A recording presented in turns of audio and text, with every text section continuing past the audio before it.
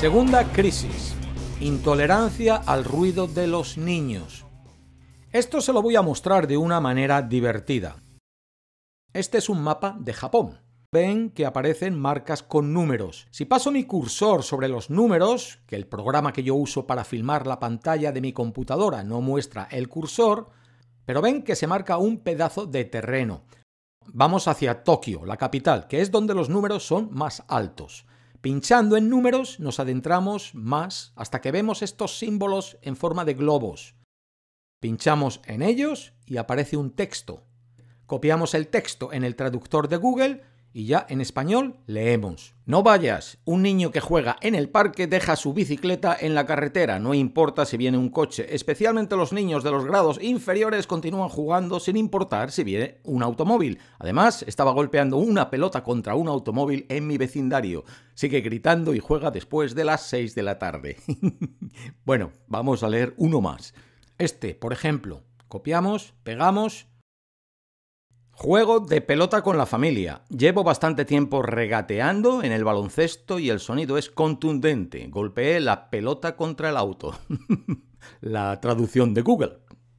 Estos son mensajes que la gente deja quejándose del ruido callejero. Este mapa visualiza el Dorosoku, o tribu de la carretera, un término que se aplica a las personas que bloquean el camino o causan estragos en público. Este sitio web, llamado DQN Today, se describe a sí mismo como una guía colaborativa para ayudar a los buscadores de casas a evitar los vecindarios habitados por padres estúpidos que dejan que sus hijos jueguen en las carreteras y estacionamientos. Lo que el sitio hace es recopilar las quejas anónimas sobre ruidos y también vistas irritantes y registrarlas en el mapa, para que así cualquiera que vaya a comprar o alquilar una casa quede avisado de cómo es la calle o el barrio donde se mete. Esto refleja lo que a muchos japoneses les molesta que les perturben su paz, como más o menos a cualquiera. Entonces, ¿qué tiene esto de crisis? Parece que no es más que otra curiosidad del Internet.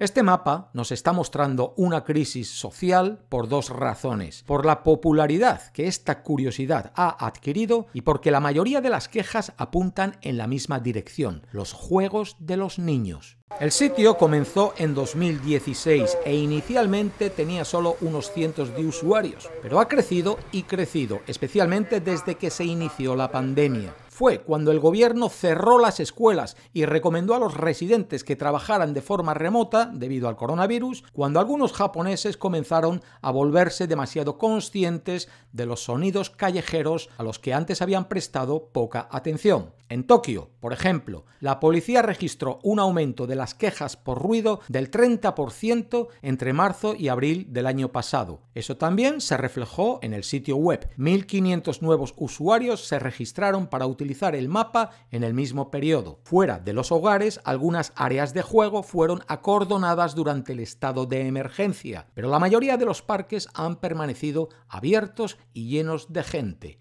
Ruido. La popularidad del sitio web y su mapa ha crecido tanto como el debate que se ha originado en torno a esto. Por ello que el creador de este mapa ya no responde preguntas, porque el mapa es una pista para identificar a los residentes ruidosos, aunque no se nombren con nombres y apellidos, ellos saben quiénes son, y para que los funcionarios del gobierno metan mano allá donde haya que meterla. Esto puede que roce el borde de la legalidad. De hecho, hay usuarios que han intentado registrar en el mapa quejas por molestias públicas en Taiwán, Portugal, Alemania y Gran Bretaña y por razones legales no han podido hacerlo. Las publicaciones se limitan a Japón. Y luego está el debate más profundo que el mapa está originando sobre la actitud hacia los niños. El mapa registra todo tipo de ruidos e incluso otras quejas como infracciones de estacionamiento o gatos callejeros que rayan las llantas de los automóviles. Pero muchas de las entradas destacan las áreas frecuentadas por niños sin supervisión. Muchas de las quejas se refieren a nada más que niños jugando en la calle.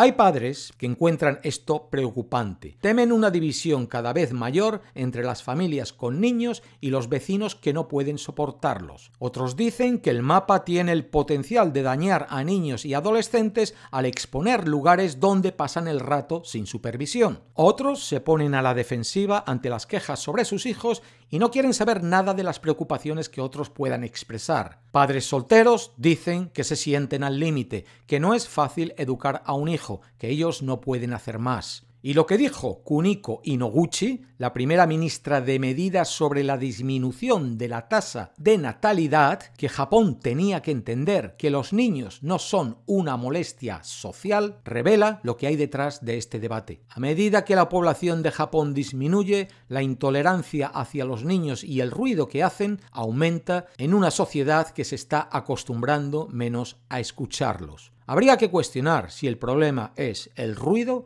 o los niños.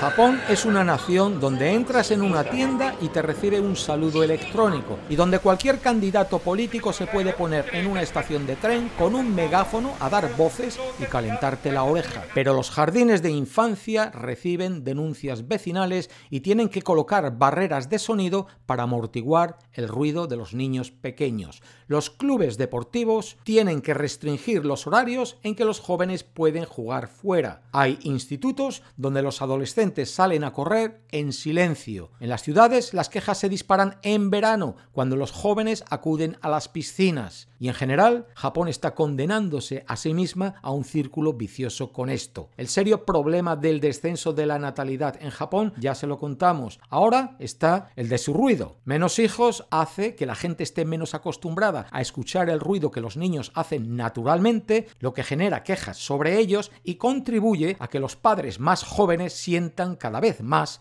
que no quieren tener más hijos. Los parques públicos en Japón están cubiertos de letreros que prohíben todo tipo de actividades en respuesta a las molestias que expresan los residentes. El parque Nishi Ikebukuro en Toshima, Tokio, prohíbe 45 actividades diferentes, entre ellas el fútbol, saltar a la comba o la patineta. La historia del skateboarding en Japón merece vídeo aparte. Ha sido una historia tan marginada hasta hace poco que quien lo practicaba se le consideraba poco menos que un delincuente. Lo menciono porque en tres meses skateboarding va a hacer su debut como deporte en los Juegos Olímpicos de Tokio, lo que nos lleva a la última crisis social de este vídeo.